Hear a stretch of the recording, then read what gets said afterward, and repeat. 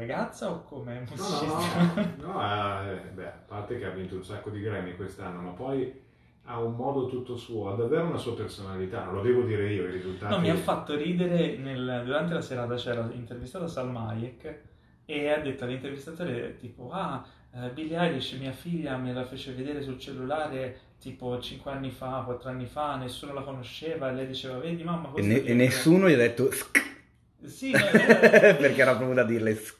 Sì, sì, infatti eh, l'intervistatore non era preparato, quindi no, mi ha fatto ridere questa cosa qui quando la gente dice ah io Bong Joon- Joon-ho lo conosco da- dal 2001, guarda, eh vabbè, allora...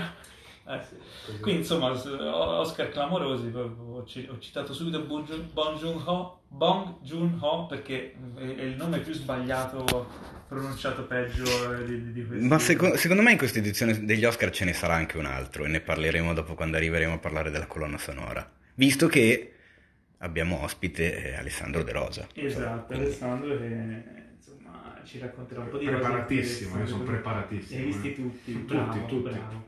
Ma prima di iniziare, prima di infilarci dentro questo lunghissimo podcast oscarifico, eh, è il momento di parlare del nostro sponsor Infinity, il servizio streaming perfetto per i cinefili, con un catalogo di migliaia di film e serie tv disponibili sempre e su tutti i device. In più ogni settimana, come vi dico sempre, c'è in regalo un film premiere, che è una delle ultime novità, in anteprima per 7 giorni. E questa settimana, ragazzi, dal 14 al 20 febbraio, è il turno di Blinded by the light. eh, Bellissimo, ragazzi, bellissimo. Uno dei film che mi è piaciuto di più di quest'anno.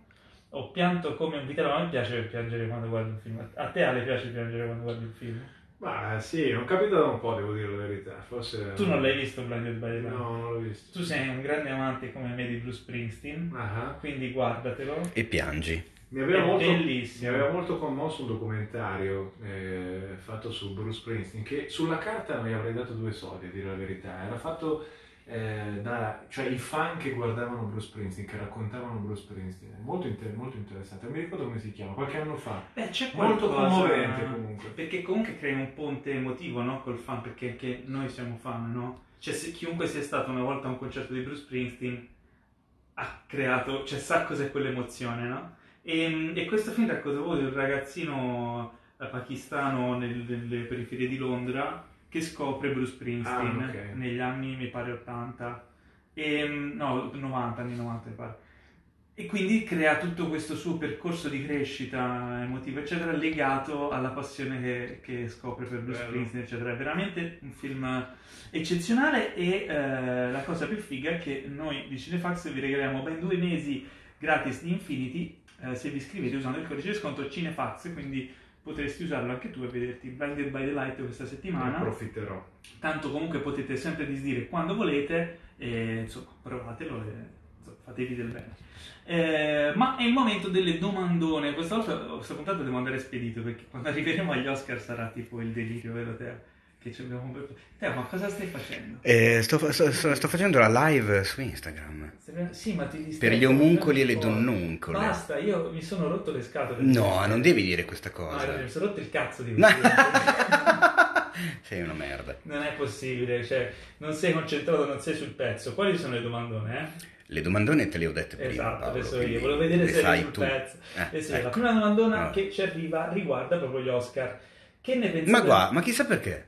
Non ho Ma- capito come mai. guarda. Gli Oscar di quest'anno, eh, non Ma quelli pa- dell'anno pazzesco. Ah, Che ne pensate del vestito della Portman agli Oscar? Ce la fa Emanu de Montesio, o Montecio, Emanu da Montecio. O da Monte ciò. Ah, Da Monte ciò. Montecio. Eh. Allora uno direbbe perché ci fate la domanda sui vestiti? Me lo chiedo anch'io. Non siamo certo la Denise Negri di Sky, che di solito la chiamano per commentare il red Esatto. carpet, o Ildo Diamanti, che era, no, Ilvo Diamanti. Ido. che- Ido Diamanti. Diamanti. Ma chi era poi? E non lo so, e viene... Lui si, si- si definisce fashionista, che mh, può voler dire tutto come anche assolutamente nulla, quindi vabbè. Ma, allora- in realtà il vestito della Portman Ok, ce- sì. celava un segreto, secondo me, di classe e molto, molto figo.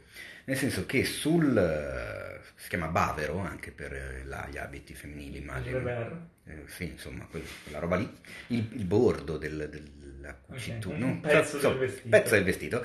C'erano ricamati tutti i nomi delle registe donne in attività che non avevano ricevuto la nomination all'Oscar come miglior regista. Quindi Questa tutte no. le registe del mondo. Non lo so quanti erano in realtà, cosa- bisognerebbe approfondire Io questa non l'ho cosa. capita questa cosa qui. Ma è un- lo sai che la, la cara e, e- No, e forse carissima dei Natalie film, dei film nominati ma che non avevano avuto la nomination come miglior regia. dici? Secondo me sì, perché la polemica era stata questa, cioè possibile Ah beh, si può anche darsi. tipo Little Women nominato come miglior film, ma eh, Greta Gerwig non è stata nominata come miglior regista e non solo lei. Quindi c'era un po' questa diatriba, dice perché avete nominato il film ma non avete nominato nessuna regista? Perché tutti i registi nominati erano tutti uomini quest'anno. Mm. Però, eh, eh, non lo so, è andata così. L'anno prossimo saranno tutte donne. È una questione, beh, eh, la compositrice che ha vinto la musica, la miglior musica è una donna. Ed, ed è anche, ed è anche la prima donna che vince da sola l'Oscar per la miglior colonna sonora. È vero, infatti Gusanato Stish, Gusanato No, gu- Ildur sarebbe Ildur Ildur. Ma- C'è un finale strano perché esattamente perché Io c'è Gusanato Stish o Gusanato Stir, però non so se sono corretti. Tu Ci dovrebbe essere un, un islandese che ce lo dice, perché il nome è islandese e io quando sono andato in Islanda ho scoperto una cosa veramente eh, buffa. Nel senso che sono talmente pochi gli islandesi che non hanno il cognome. Ah, Come non... Loro non hanno i cognomi. Basta Cioè, il nome lì. quando nasce un bambino o una bambina, se, se- allora mettiamo il caso, tu Paolo hai un figlio, lo chiami Marco. Mm. Quel bambino si chiamerà Marco Paoloson. Cioè Marco Di Paolo. Esatto, se tu avessi una bambina e la chiami Marcella, la bambina si chiamerebbe Marcella Paolo Dottir, perché prendono il nome del padre e se sei donna ci aggiungono Dottir e se sei uomo ci aggiungono Son. E questa cosa mi ha, mi ha flashato. Se facessimo così anche noi, io, una sarei, roba strana. io sarei parente di Vincent D'Onofrio. Perché, Perché ti chiameresti Onofrio Son? No, mio padre si chiama Onofrio, quindi sarei D'Onofrio anch'io. Eh no, saresti Paolo Onofrio Son. Ma lì, ma da noi diciamo... Ah, eh, va- vabbè, adesso non è che puoi cambiare le regole degli islandesi, scusami. Così. Eh, vabbè. Molto carina questa notizia. Ecco, vabbè, niente, era un angolo del, il del- podcast, del sì. cazzismo becero Ah, proprio. questa era una domanda tecnica. dopo Fiorello al Festival di Sanremo, che È vero, ma perché non facciamo uno special sul Festival di Sanremo? perché nella stessa settimana Festival di Sanremo e Oscar? Questa è una roba... Allora, quest'anno hanno fatto la notte degli Oscar più early eh, di sempre. Cioè non erano, mai- non erano mai stati, almeno di sempre, sicuramente degli ultimi 40 anni, non erano mai stati così presto gli Oscar. Non ho capito perché. Boh. Non se, non se l'è spiegato nessuno. subito, perché, eh, impazienza. Mm. Tra l'altro, infatti, anche i Rezzi, i Rezzis, eh, i Rezzi Awards, cioè i premi Mhm. per i peggiori film, sono stati presi in contropiede perché loro di solito fanno, fanno la- prima. la- fanno il giorno Ah. prima, annunciano i, i vincitori dei peggiori. Si vede che quest'anno erano organizzati male e hanno annunciato le nomination due giorni prima e i vincitori li dicono tipo il primo aprile, una Ma come? che non ha senso. Poveri. Comunque io faccio sempre questo per, per aprire una parentesi, abbiamo citato Ah, Sanremo, poi- così poi- lo chiudiamo e poi parliamo di Sanremo. Ma perché stiamo livello- parlando di Sanremo? No, aspetta, ora ti faccio vedere come lo ricordo. Sanremo a livello di produzione TV ehm, è la produzione TV più importante e prestigiosa d'Italia e quindi anche più curata a livello di produzione. Sa- ehm, gli Oscar è la diretta americana non sportiva perché tiriamo fuori il Super Bowl che tra l'altro c'è stato l'altra settimana. Esa- quindi esattamente. nello stesso periodo, eh, molto curata. Però a livello estetico, e, mh, a parte che Sanremo essendo spettacolo, musica ha più, diciamo, anche più giustificato che sia più colorato, più fantasioso, eccetera. Però a livello produttivo è molto molto bello, mentre gli Oscar sono più semplici, più minimal. Ehm, ma quest'anno mi sono reso conto di una cosa, te lo dico a te, Teo, che facendo il mestiere del cameraman, probabilmente te ne eri già accorto da un sacco di tempo, ma il teatro Ariston è piccolissimo. Certo. Eh sì. È Teatro Ariston è un buco. Io quando ci sono stato dal vivo mm, mi è venuto da ridere. Eh Perché sì, è veramente piccolo. Eh. Allora, attenzione, io dovrei, dovrei, vabbè, ma sì, ma lo dico, chi se ne fa tanto lo conosco anche. Eh, Stefano Vicario era il regista di quest'anno degli Oscar. Io ci ho lavorato qualche anno fa per fare Di la Real Sanremo. di, scusami, di Sanremo, esatto. Ok. Ci ho lavorato qualche anno fa quando hanno fatto la nuova edizione del Rischia Tutto con, con Fazio. Ehm, non so che cosa gli sia venuto in mente quest'anno, ma secondo me la regia di Sanremo di quest'anno era veramente Sì, anche a me non è piaciuto. Pessima. C'erano degli stacchi un po'... A... No, allora, gli- i, i musicali mi sembravano veramente randomici, cioè Eh. non vedevo le ore di prove alle spalle per creare una sorta di videoclip del pezzo. C'era questa steadicam lanciata sul palco che andava a Sì. due centimetri dai nasi dei, dei- dei cantanti, facendogli anche ombra in faccia. Che poi a un certo punto, forse nella penultima serata, ho visto anche tipo tre secondi di nuca fuori fuoco di Elodie rimasta in onda. Che uno dice staccala, cioè fa schifo come inquadratura. Ma al di là della cosa visiva, è anche fastidioso per i cantanti avere una steady che ti gira intorno a mezzo metro di distanza. Eh, fin beh. qua. E che due coglioni. Però vabbè, al di là di quello, al contrario invece ho visto una cura invereconda nella regia della, della notte Oscar. degli Oscar. Cioè, essendo reduce dalle serate di Sanremo, poi domenica notte mi sono visto gli Oscar e ho detto ok, è così che si riprende Beh, un semplice, evento. eh, però era Gli anni bello. scorsi io mi ricordo che le regie di Duccio Forzano, Erano con il molto quale ho lavorato 5 anni da Fazio, perché tempo che fa, erano un'altra cosa, ma Sì, perché sì. Duccio è uno che, che- che Prova. prova al millimetro, anche le luci erano pensate per ogni pezzo, cioè lui costruiva effettivamente l'identità del pezzo che poi veniva riproposto nelle varie serate e quindi era quella roba lì. Sì, è vero, si ripeteva sempre. Eh, mentre una volta c'era quasi una regola televisiva a Sanremo, nel senso che ogni canzone doveva essere ripresa nello stesso modo, per non avvantaggiare o svantaggiare un artista piuttosto che un altro. Quindi se gli davi 5 primi piani da 20 secondi l'uno, dovevi farlo per tutti i cantanti. Questa cosa si è persa un po' negli anni, ma quest'anno era veramente, insomma, non proprio riuscitissima. Ma io direi anche di chiudere la parentesi Sanremo. Cosa ne dici, Telefaz. Paolo? Comunque, Mm? Due, due tipi di regia tra Oscar e Sanremo. Ma torniamo dove, Paolo? Torniamo alla, alla seconda domandona. No, alla prima, quella del vestito l'abbiamo chiusa. Sì. Seconda domanda, qual è l'importanza della colonna sonora in un film? Questa domanda ce l'hanno fatta sia Antonio Petta che Alessandro Grassi e questa è la tipica domanda a cui di solito non rispondiamo. Ma Ma avendo- visto che abbiamo ospite comunque uno che se ne intende, Chi è? caro Alessandro, sei tu. Pesce, Eh, pesce, il pesciolino qui. sì, che quello lì è Joe Pesce. È lui? Eh, no, no, questo è un pesce in una qua. Dovete sapere che Alessandro è seduto accanto all'acquario. e- E qui, lo vedete nella diretta di... Meno male che i pesci non abbaiano. Eh, qual è l'importanza della colonna sonora in un film? Questa è una domanda ipergenerica. Eh, infatti è molto generica e molto difficile da rispondere. Devo dare una risposta? No, devo no, se no, vuoi. posso provare a dire, ma può essere molto importante se si sente, se è utilizzata in un certo modo, può essere anche inutile se utilizzata in un altro Mm. modo. Non è detto che un buon film debba avere una colonna sonora, che poi la colonna sonora è un fatto più complesso, questo bisogna sempre dirlo, no? Lì com'è la domanda? Dice qual è l'importanza, però in realtà c'è anche un'altra domanda che secondo me si collega e possiamo es- espandere questo concetto, no? L'altra domanda che ci fa Steve91 è qual è il film con le migliori colonne sonore di sempre? Eh, Ed è una domanda ipergenerica anche questa, No. però mi viene da pensare una cosa di cui discutemmo tanto tempo fa. Ehm, se noti, cioè ora ti faccio questa domanda, tra le migliori colonne sonore di sempre in un film, sono- ci sono spesso film che lasciano molto spazio alla musica, cioè gli danno i suoi tempi, in cui la musica non è solo un tappeto, ma può venire fuori, no? Mi viene in mente Sergio Leone, eh, piuttosto che tanti altri, Ah, ma anche secondo me le musiche di candidate a questi Oscar, no? Avevano lo spazio di, di Mhm. svilupparsi, no? Quindi è- è- dipende anche dal regista qu- questo risultato, l'importanza e, la, e la qualità.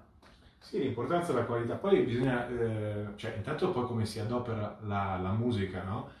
Cioè lo spazio che si dà, il volume che si dà, il senso che dai alla musica, perché non è detto che tu una, una scena, ad esempio, di un combattimento, no? Come il finale di Cotto e Frullato, lo... Tu. Come- lì si sarebbe potuto andare all'unisono con l'immagine, no? Invece alcuni compositori, eh, io in quel caso ho scelto così, vai proprio contro quello che è l'immagine. Morricone l'ha fatto spessissimo, no? Questa cosa. Contrappunto. Sì, una specie di contrappunto, invece di proporre no, uno stacco serrato di quelle che sono le ritmiche, quindi andare con l'immagine, il pugno, il calcio e via dicendo, invece vai con ad esempio una sezione d'archi distesa, che non succede niente. E questa cosa dà un forte contrasto, una cosa la utilizzano anche nelle serie, ho visto molto spesso, fanno un omicidio incredibile con una canzone anni 60, no? che invita invece alla gioia e alla spensieratezza. È un contrasto emotivo, un contrasto che che è possibile, no? Che, che poi lì si carica anche di un contesto. Però al di là di questo, volevo dire una cosa. Eh, lì dicono colonna sonora, è una cosa interessante perché eh, non ci pensiamo mai, però la colonna sonora in realtà vero, si nutre della musica ma anche di tutto il resto degli effetti, dei dialoghi, Sì, cioè è proprio certo. è la banda sonora. È, è strano e interessante come nel gergo poi colonna sonora sia diventata la musica, no? Quasi inizialmente nei film muti infatti era suonata al pianoforte e poi piano piano nel corso del tempo è diventata, la colonna sonora è diventata la musica praticamente. Anche se vabbè, è paradossale perché non ci pensa mai nessuno alla musica, eppure eh, questo termine non è diventato così importante. Sì, comunque colonna sonora si intende musica, dialoghi, effetti. Molto spesso ultimamente tutti questi effetti, il ruolo proprio del sound designer, del, del sound design in generale, è davvero importante. è impo- sta quasi diventando la nuova musica, cioè è la musica concreta, no? l'importanza dei suoni. Nelle serie questo viene fuori sempre, ma anche per esempio in 1917 è importantissimo questo aspetto qui. Sì, sì, però mi, mi è venuto in mente, se non sbaglio era Baby Driver dove c'era una sequenza in cui con le spare e il rumore delle armi componevano la musica. Qua- quasi tutto Ba- Baby Driver è montato e musicato ed effettato a tempo. Eh, quindi sì, quel visto, film... Non l'ho mai visto. Recuperalo perché... Tra l'altro, se eh, la butto lì, magari c'è già qualcuno che lo sa perché l'ho, l'ho scritto, fatto l'articolo, eccetera. Ma se vi guardate Baby Driver con gli auricolari, Mm. quindi non con le casse, con, con col tele- da- in televisione, eccetera, ma se usate gli auricolari, Come vi lui. esatto, vi rendete conto che quando il protagonista si toglie un auricolare, la musica che lui sente la sentite solo sul canale che lui ha tenuto nell'orecchio. Ah, ma io me ne ero accorto anche al cinema, si sentiva sta Si cosa. sente meno se la senti con gli auricolari meno, sì. viene fuori sta cosa ed è un tocco di classe di Edgar Wright che secondo me Beh, è importantissimo, cosa. comunque il sonoro, voglio dire, nel, nel cinema è fondamentale, perché comunque l'immagine rimane lì piatta, no? C'era Pasolini che diceva che alla fine il cinema è bidimensionale, o comunque tridimensionale se consideriamo anche il tempo, cioè tu hai lo schermo, lo vedi, la musica invece esce, ti fa convibrare, cioè ti arriva proprio la frequenza. E quindi comunque ti tocca, ti sposta l'attenzione, inizi a vivere dentro. Ma infatti la domanda di Alessandro Grassi più che altro verteva sul fatto di, di- cioè quando e se la colonna sonora può migliorare un film che altrimenti non sarebbe niente di speciale. Ma secondo me sempre. Eh, esatto, infatti non... A meno che non faccia schifo, in quel caso lo può peggiorare. Beh, dal momento che siamo partiti così, adesso ci stiamo allargando da questo punto, beh, certamente il sonoro ha portato sicuramente un'informazione fondame- informazioni fondamentali al cinema contemporaneo, cioè non si potrebbe pensare adesso di ritornare al cinema muto, almeno. No, certo. So. No, però ad esempio mi viene in mente anche appunto, l- l- come si dice, anche quella, la, la- la questione di, di legare una, una determinata musica, un determinato con- commento sonoro a un film e poi quando tu ti ricapita di riascoltare quelle canzoni o di riascoltare quei suoni, la mente ti riporta assolutamente a quelle scene del film, quindi è un legame che proprio si stringe e fa fatica poi a sciogliersi nel tempo, anche se magari la musica non è originale, ma è una canzone famosa, ma nel momento in cui tu la vedi collegata a un film, la volta dopo che l'ascolterai eh, sarà impossibile scollegarla da quella roba, quindi Su questa cosa vi racconto una, una roba ma brevissima. no? Quando ho avuto l'opportunità di incontrare Giuseppe Tornatore un po' di, di- di anni fa, perché stavamo raccogliendo la testimonianza del, del- del libro. Quindi non lo sa questa cosa. Che No, scusa, scusa, stavi dicendo? Che cos'è questo? Quando, quando è che quando hai incontrato? L'importanza, l'importanza del sonoro. No, no, no, ho capito, ma hai, hai Ho incontrato... incontrato nel 2016 Giuseppe Tornatore. E qui c'è il suono di nuovo, è una questione. No, in realtà è semplicemente un'abbreviazione di scusa. Ah, sc- Ma una cosa dei trapper, cos'è? Una roba... No, È eh, sì. trapper. ma in realtà no. È una malattia e a te, Ah, non può malattia. farne a meno. Vabbè, comunque, eh, Giu- Giuseppe Tornatore, proprio finiamo la, la intervista, insomma questa testimonianza che poi è andata nel libro, eh, con lui ricorda di quando da ragazzino è andato al cinema e per la prima volta, no, all'epoca c'erano i jukebox, no? C'erano i jukebox. Allora, per la prima volta la musica, ad esempio, di, per un pugno di dollari, ecco, per fare un esempio, lui la trovava poi nel jukebox E c'era proprio questo momento in cui lui dice, cavolo, la musica, cosa ci faceva quella musica lì? L'idea, eh, certo. No? Quella musica che lui aveva visto col papà al cinema e si era emozionato lì, aveva visto questi cowboy, no? era tutto grande, e questo mondo sonoro usciva dal cinema e diventava indipendente e lo ritrovava nel jukebox sulla spiaggia. Beh, è un bel ricordo, lo dico perché... L'effetto è straniante comunque. Eh sì, eh sì. Poi se ci pensiamo, questo vabbè è un discorso molto complesso che dipende anche dalla discografia, Insomma, dipende da tantissimi fatti, però è stato possibile proprio anche emancipare la musica del cinema e, e ci restituisce un'emozione al di là del film a un certo punto. Eh sì. Magari qualcuno si ricorda manco il film, però la musica, ecco, mm-hmm. trionfa. Beh, tra l'altro, guarda, ne approfitto in questo momento, visto che eh, hai parlato di questo, di questo tuo percorso che hai fatto no, di ricerca e di approfondimento e conoscimento di, di quello che è Morricone come artista, come autore, eccetera, per annunciarvi una cosa, cari ascoltatori, cari, cari omuncoli e omuncole. Ehm, Perché?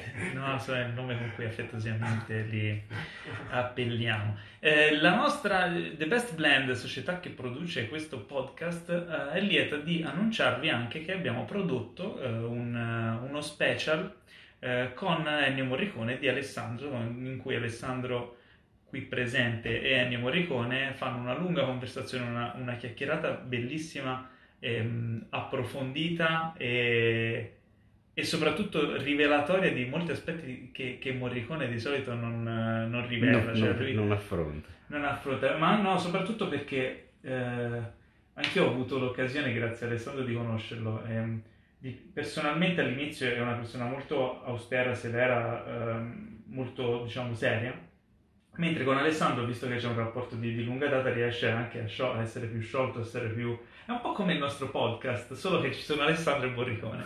Questo special è su, su, Audible, è stato realizzato come, per Audible in esclusiva, come Audible Original, quindi insomma eh, è possibile da, eh, da, lunedì trovarlo su, tra gli Audible Original, quindi potete iscrivervi a Audible, che è il servizio di audiolibri e podcast di Amazon. Eh, tra l'altro c'è un mese gratis, quindi se volete provare il servizio, se volete ascoltare il, lo special. Alessandro, eh, com'è stata questa esperienza? Eh, questa, questa, ultima delle tante esperienze con, con Morricone? Ma è sempre interessante perché poi, vabbè, noi ci conosciamo da tanti anni, c'è stato il libro, però poi alla fine eh, Ennio Morricone è una persona molto intelligente e alla fine tutti quanti noi, no? ognuno di noi progredisce nel tempo, comunque cambia dei punti di vista su alcuni, su alcuni fattori, li pensa in un altro modo magari quindi è sempre interessante, non, non, è vero che si ripetono delle cose che uno ha già sentito, si sente sempre qualcosa di nuovo, perché gli anni passano e le cose si mettono in prospettiva in modo nuovo. E in questo podcast è vero che vengono fuori tanti, tanti aspetti, tanti, tanti modi di pensare alla musica, alla vita, che eh, sinceramente anche già per dire 3-4 anni fa non, non c'erano. Eh, certo, quindi sì, non c'erano, erano, erano diversi appunto. Se uno è attivo con la, sua, con la sua testa, con la sua attività, ci tiene un pochino alla vita, cambia anche di opinione, no? Questo è secondo me molto importante. Sì, sono più di tre ore di chiacchierata, quindi insomma vengono fuori tanti aspetti della, della sua vita, della sua musica, eh, ma sempre, eh, io direi, nel caso di Morricone davvero la musica è ciò che trionfa, no? cioè anche i fatti della vita poi si, si, spiegano nella musica in qualche modo, è proprio un musicista.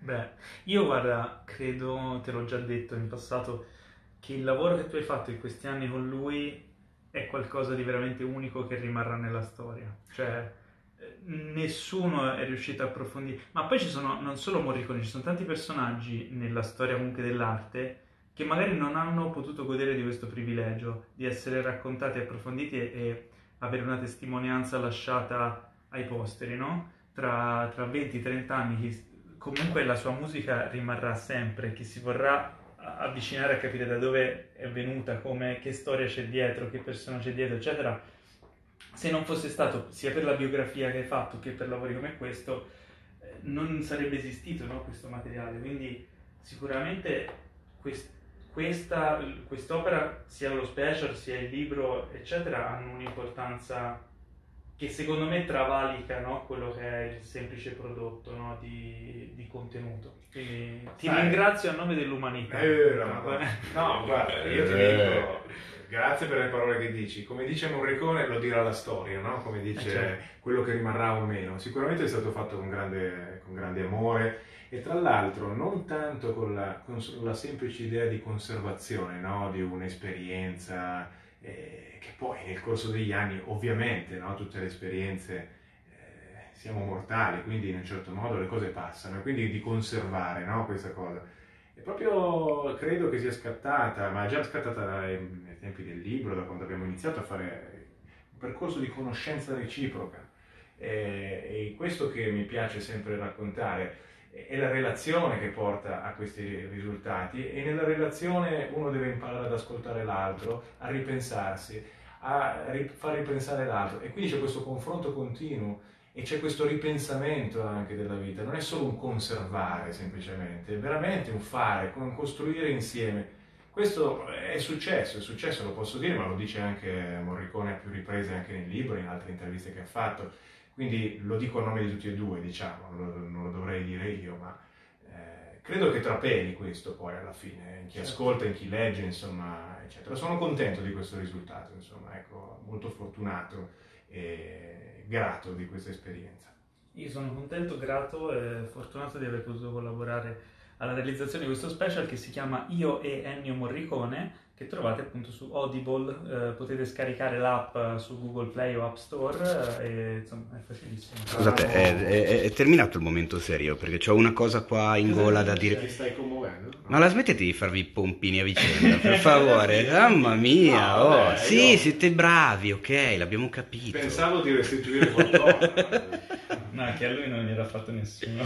Esatto. Io sei bravissimo anche tu, cioè nel senso... Bastardi. Facendo Siete delle merde. un grandissimo lavoro. Vaffanculo. Ma chiudiamo con l'ultima delle domande, adesso poi passiamo agli Oscar. Eh? Ok, io però lascerei il cliffhanger agli omuncoli, alle donnuncole della, di Instagram. È la domanda più figa e quindi ragazzi dovete ascoltare il podcast, quindi noi Ma con i nostri amici del podcast... Eh, Basta con queste live. Infatti adesso li saluto. Dai, ciao ragazzi, dobbiamo andare avanti, qui abbiamo un podcast da fare. La domanda è, la domanda è, bellissima questa domanda, qual è, no questa l'abbiamo già fatta, come si fa a capire quando finisce un atto e ne inizia un altro? E la domanda ce la fa l'esimio nonno Pino.